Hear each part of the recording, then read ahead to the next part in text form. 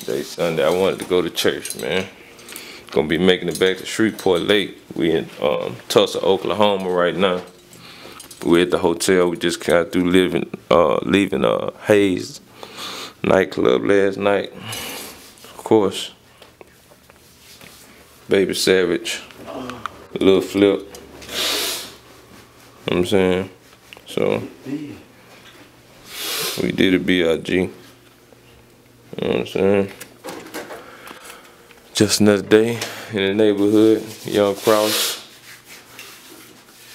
What's up? Jeremiah. What to do there, Bo? It's that boy Jig Productions.